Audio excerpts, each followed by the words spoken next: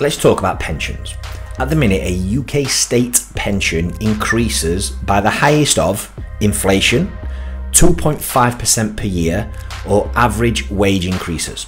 This is known as the triple lock, and in 2019, the Tories promised to keep it in during the duration of this parliament.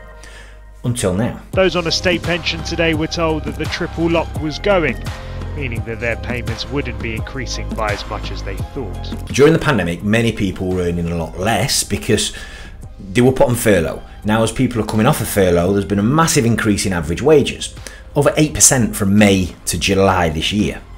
Remember the triple lock we've just mentioned? Well, that'd mean that pensions increased by a similar amount. Don't get too excited just yet, Doris, because the government have suspended it. Because it's an, and I quote, unusual and unique situation.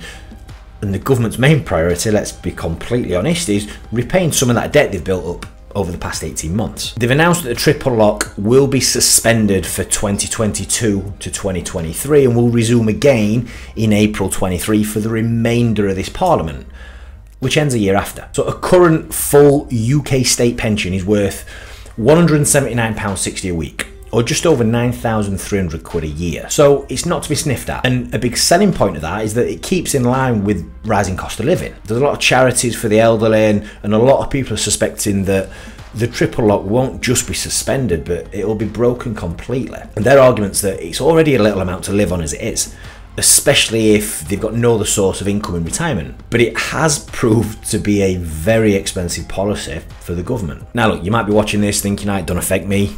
I'm not drawing my pension yet. You're right, it doesn't. But it will. And there are two very important lessons to be learned here. One, this is another in an already very long list of red flags to suggest that when you do come to retire, there might not be enough to go around.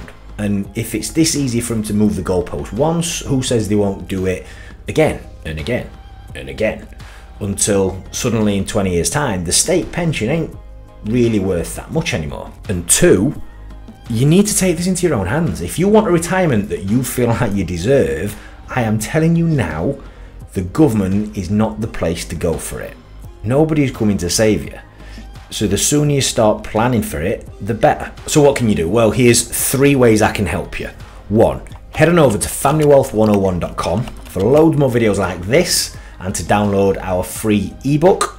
Two, join our world famous weekly email so you never miss a beat. Or three, if you're an expat and you want to work with me and my team personally, drop me a DM. Thanks for watching.